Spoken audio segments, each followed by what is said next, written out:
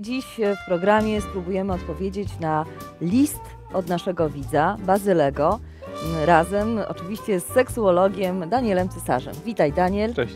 Oto list. Pierwsze kontakty seksualne miałem dopiero po 20 roku życia. Nie były bardzo udane, bo nie miałem odpowiedniej i stałej partnerki. Na tę jedną, jedyną kobietę czekałem jeszcze kilka lat. Próba kontaktu seksualnego przed ślubem była z nią tylko jedna, satysfakcjonująca mnie i chyba ją także. Nie naciskałem na dalsze, bo widziałem, że jest osobą religijną, bardzo przestrzegającą zasad. Po ślubie problemem było jej dziwne zachowanie w łóżku. Nie rozbierała się do naga, na moje naciski reagowała paniką. Strachliwe zachowania przejawiała również w łazience, reagując alarmowo na moje wejście do niej. Moje natarczywe nieraz próby przełamania tego impasu były skazane na porażkę, bo były w domu już dzieci, przed którymi trzeba było e, się ukrywać swoje pożądanie.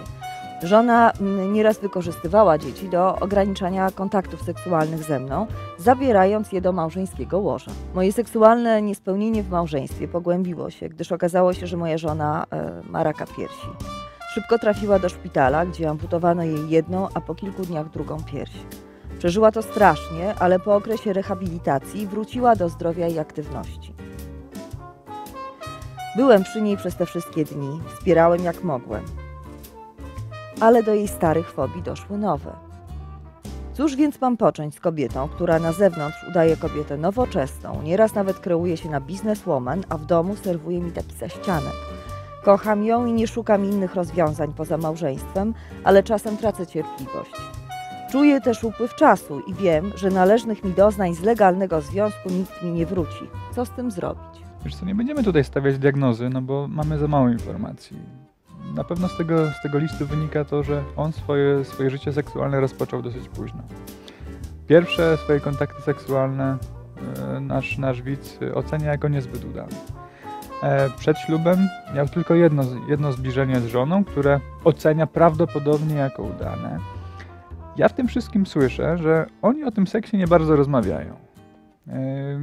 On, nasz widz, pisze o tym, że jego, jego partnerka jest bardzo wierzącą osobą, ale nie jestem pewien, czy to wyjaśnia całą tą sytuację. Czy to takie purytańskie zachowanie, a nawet więcej niż purytańskie, trochę takie fobiczne, lękowe zachowanie, czy w łóżku, czy ogólnie związane z seksualnością, jest związane z wiarą.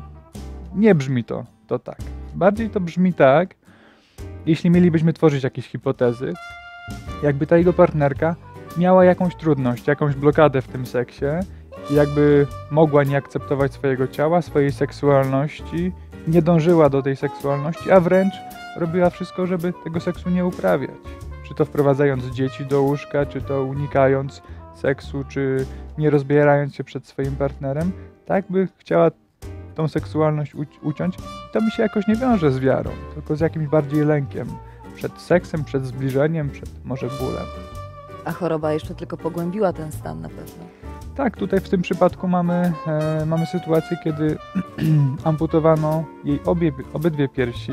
No to dla każdej kobiety jest, jest tragedia, jest dramat no, no w tym przypadku to może być kolejny argument do tego, żeby tego seksu nie uprawiać, żeby jeszcze, jeszcze bardziej siebie nie akceptować jako kobiety w roli, w roli kobiety. Oczywiście tragedia obydwojga, bo, bo tak na to trzeba, trzeba spojrzeć. Zastanawiam się, czemu dopiero teraz ten, ten nasz widz o tym pisze, że tak, po, 30, po 30 latach małżeństwa on dopiero teraz jakoś to widzi, czy zaczyna się domagać zastanawiam się nad tym, czemu dopiero teraz zaczynam mówić o tym, że brakuje mu tego seksu, bliskości z partnerką. Prawdopodobnie żywi do niej, do niej uczucia i chciałby być blisko, blisko niej, ale to trochę dużo czasu, 30 lat. Ale jak, co on teraz może zrobić? Jak on może jej pomóc i sobie? Wiesz co, no, jeśli mówimy o takim wsparciu jej, no to przede wszystkim e, jakoś akceptować to, co jest, ale też spróbować otworzyć te, te rozmowy na temat seksu i seksualności.